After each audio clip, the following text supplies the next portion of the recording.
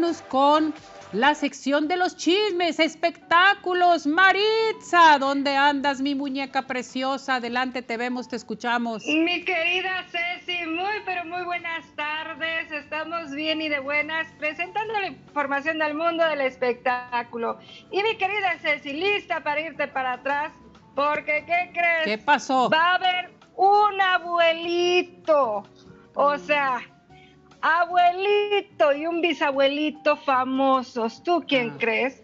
Pues nada menos que mi Alejandro Fernández ya no va a ser el papacito, ya va a ser el tito, porque resulta que Camila Fernández pues dio a conocer a una reconocida revista que efectivamente está embarazada. Recordarás, mi querida Ceci, que el pasado primero de agosto eh, pues se llevó a cabo en Jalisco eh, una majestuosa boda en plena pandemia y bueno, que fue bastante criticada. ¿Por qué? Porque muchos decían, es que a quién se le ocurre en plena pandemia hacer una boda para tantos invitados, porque hasta decían que había los dos mil, luego que mil, luego 500 y al final salieron con que 200 invitados fueron los que acudieron a la boda de la hija de Alejandro Fernández. Y bueno, pues una de las cosas que sí se rumoraba bastante es que la boda tan apresurada pues se debía justamente a que Camila estaba embarazada. Bueno, la gente lo decía, la gente lo rumoraba, lo rumoraba, perdón, y bueno, hubo quienes lo desmintieron, hasta incluso hubo eh, personas que se molestaron, entre ellos Vicente Fernández Jr., porque estaban diciendo que su sobrina estaba embarazada. Ponle, mi querida Ceci, que tal vez no tenía tanto tiempo de embarazo, pero sí decían, ¿cómo puede ser posible que nueve meses de relación sentimental? Con el novio, se casa y bueno, pues sí, a los nueve meses de relación sentimental se casó y a los nueve meses de casada, pues va a llegar su, primogénita, porque va a ser en el mes de abril cuando nazca su bebé, porque dio a conocer que va a ser una niña. Y mira, Ceci, si nos ponemos a hacer cuentas, yo no sé de matemáticas, pero si sacamos cuentas de, de agosto abril, son nueve meses, contaditos.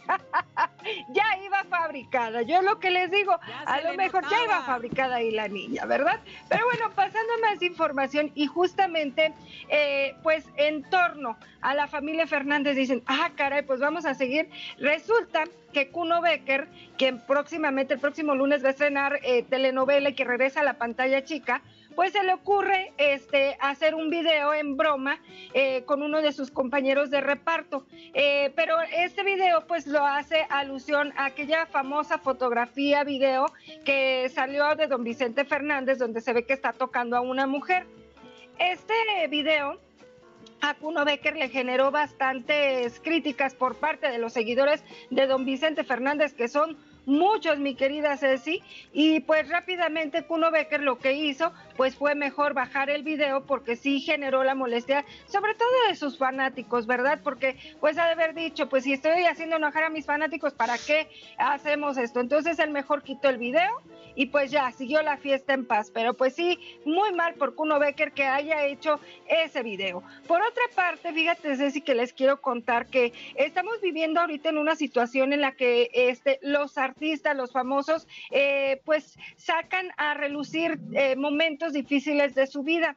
El caso, es el caso, por ejemplo, de la actriz Natasha Dupeyron, porque ella a través de sus redes sociales reveló que fue víctima de abuso sexual cuando era más joven utilizó sus historias eh, eh, del Instagram, mi querida Ceci, para descargar ese sentimiento sobre esta situación. Y bueno, pues recordó que, fue invitada, este, eh, estaba mencionando que fue invitada para hacer una canción feminista con 18 mujeres y que cuando este, le tocaba cantar la parte de que le tocaba de la canción, pues que veía como que la letra le quedaba y que la sentía tan suya y que fue al parecer lo que la hizo abrir su corazón y bueno, dar a conocer justamente pues la situación tan difícil que enfrentó hace bastante tiempo. Sin duda alguna, Ceci, pues estamos viviendo un tiempo en el que la gente pues se quiere abrir y quiere dar a conocer momentos difíciles, momentos duros de su vida y creo que fue el caso de Natasha Dupeirón. Bien por ella y sobre todo bien porque se están abriendo y están sobre todo denunciando, mi querida Ceci. Pero bueno, pasando a más información.